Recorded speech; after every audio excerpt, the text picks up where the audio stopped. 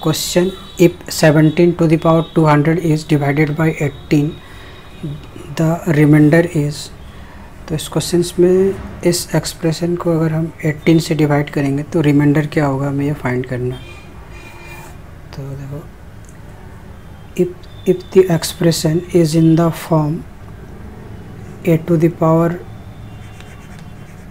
even number upon A plus 1 then its remainder.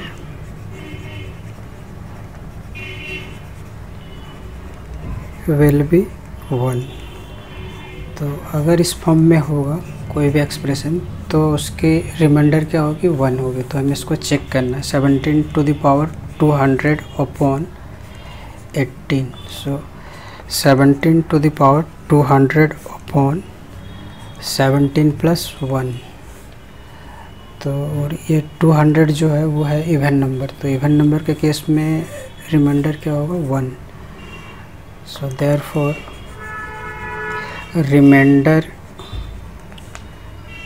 will be one answer so option A is the correct answer